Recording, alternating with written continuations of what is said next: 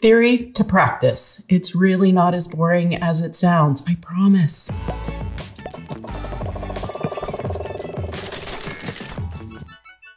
Hi, everyone. I'm Michele Lupa. I am the executive director of the Canadian Mothercraft Society, a multi service, multi site charity based in Toronto, Ontario, Canada. We uh, take a theoretical framework approach to our work. And what that means is that everything we do is rooted in evidence and research.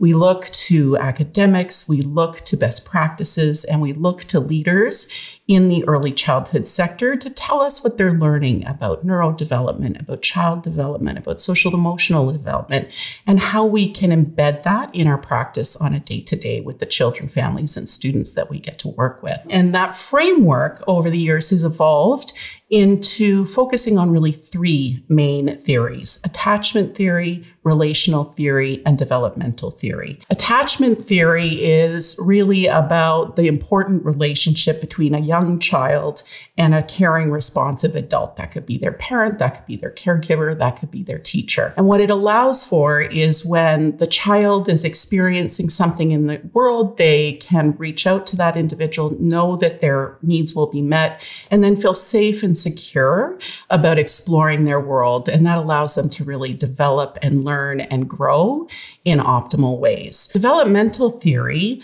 uh, really is focused on what we would expect through a child's trajectory uh, in learning and growth, and that we're watching for milestones and we're responding and reacting in appropriate ways to ensure that that gets optimized for the child as they go through the journey of childhood. Relational theory really requires us to think about the systems, the structures, the policies, procedures that wrap around all of us, but especially children in this instance, and we and to ensure that there is an integrated, responsive, and appropriate as they can be. And so, what all of that means is that when we think about attachment, when we think about development, and when we think about relational theories, we're focused on the child. What is going to optimize opportunities for them to learn? What is going to optimize their ability to understand the world around them? And how are they going to grow into the robust, wonderful, healthy human beings that we want them to become?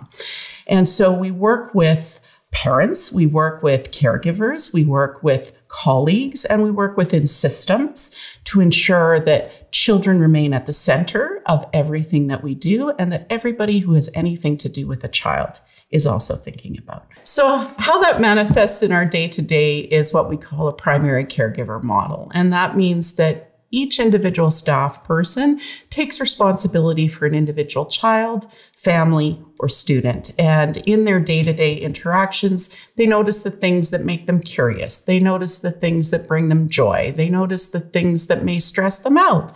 And then they adapt their program and their interactions to ensure that we're sort of optimizing the learning opportunities for those individuals in our program delivery. With that model and with the underpinning theoretical framework that we root our service delivery in, the staff that are able to really see the um, development of the learner, uh, whether that's a child or an adult, and feel a sense of progress, of outcome, of making a difference, which in turn gives them a great sense of professional accomplishment. So when that one on one interaction, deepening understanding of what it is that makes a child or a, a family or a student click in terms of their learning. It brings great reward to our educators, to our staff, in terms of their sense of accomplishment and achieving their professional goals to really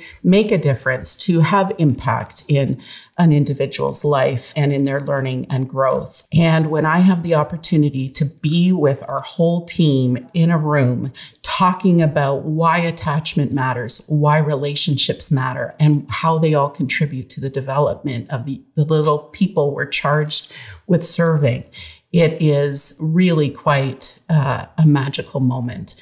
And it gives me energy and inspiration to keep doing what I do to affect the systems change that we know is also necessary to achieve these goals. So, theory to practice, Not boring at all. In fact, I would argue it's foundational, fundamental, strategic, inspirational, and necessary.